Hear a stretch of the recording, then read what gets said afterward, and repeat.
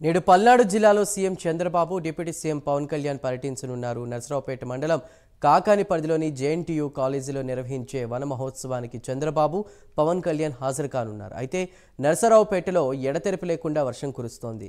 హెలికాప్టర్లో CM deputy CM సభా కార్యక్రమానికి హాజరు కావాల్సింది. అయితే వర్షం కారణంగా రోడ్డు మార్గాన్ని సభకు రానున్నారని సమాచారం భారీ వర్షం కారణంగా సభా ప్రాంగణంలో నీరు చేరింది. భారీ వర్షంతో సభ రద్దయ్యే అవకాశం కూడా ఉంది.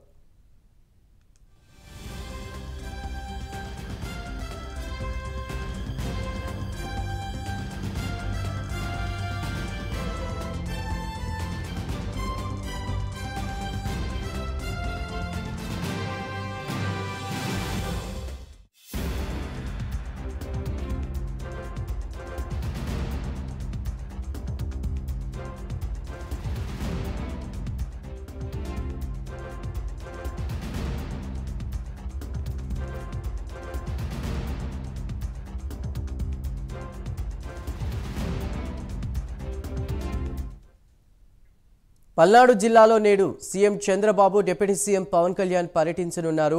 నరసరావుపేట మండలం కాకాని పరిధిలోని జేఎన్టీయూ కాలేజీలో నిర్వహించే వన మహోత్సవానికి చంద్రబాబు పవన్ కళ్యాణ్ హాజరు కానున్నారు.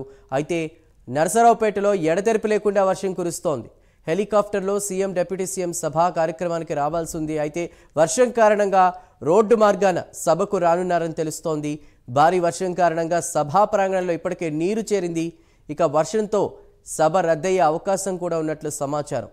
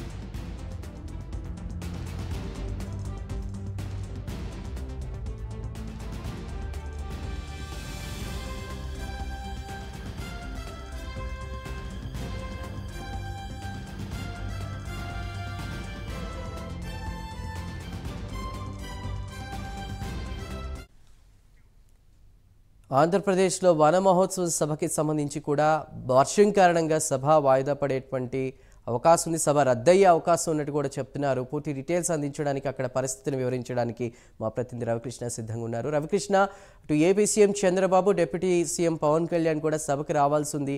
అయితే వర్షం కారణంగా కూడా సభ రద్దయ్యే అవకాశం ఉందని చెప్తున్నారు. ఇప్పటికే సభా ప్రాంగణంలో కూడా నీరు భారీగా చేరుకుందని చెప్తున్నారు. అప్డేట్స్ ఏంటి?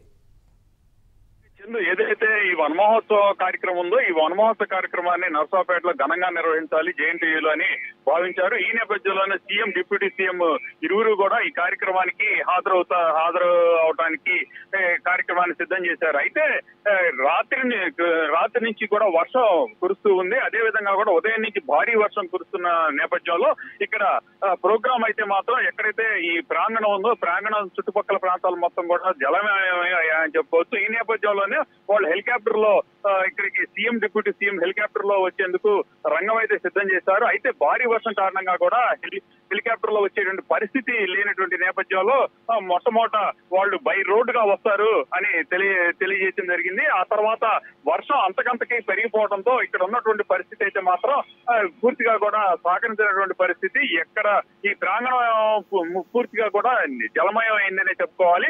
అదే విధంగా కూడా ఇక్కడ బయటికి రావడానికి కూడా వీల్లేనటువంటి పరిస్థితి. అలాగే చుట్టూ ఇక్కడ ఏదైతే ప్రాంగణం ఉందో ప్రాంగణం పూర్తిగా కూడా బురదమయం కావడంతో ఇక్కడ ప్రోగ్రామ్ జరుగుతుందా లేదా అని అయితే భావించినటువంటి నేపథ్యంలో ఈ ప్రోగ్రామ్ ఏదైందో ఈ ప్రోగ్రామ్ క్యాన్సిల్ అయినట్టుగా కూడా తెలుస్తుంది. అంటే వన మహోత్సవ కార్యక్రమాన్ని చాలా భారీగా కూడా నిర్వహించాలి. రాష్ట్రంలో ఉన్నటువంటి యువత మొత్తాన్ని దీంతో పార్టిసిపేట్ చేయించాలనే ఉద్దేశంతో ఈ కార్యక్రమాన్ని ఈ ఇక్కడ జేఎన్టీయూలో నిర్వహించడం జరిగింది. ఇక్కడికి ఈ కార్యక్రమానికి యువత అదే విద్యార్థులు కూడా పెద్ద సంఖ్యలో హాజరవుతారని అందరూ భావించారు. అయితే అనుకోకుండా వచ్చినటువంటి ఈ వర్షం కారణంగా కూడా ఈ ప్రోగ్రాము క్యాన్సిల్ అయింది. ఇక్కడ పరిస్థితి అయితే మాత్రం ఏ మాత్రం కూడా కార్యక్రమం జరగడానికి సహకరించే స్థితిలో అయితే ప్రజెంట్ అయితే లే ప్రెజెంట్ ఇక్కడ సిచ్యువేషన్ మాత్రం ప్రోగ్రామ్ క్యాన్సిల్ అయిపోయినట్లుగా కూడా తెలుస్తుంది మనకి. Right thank you Ravikrishna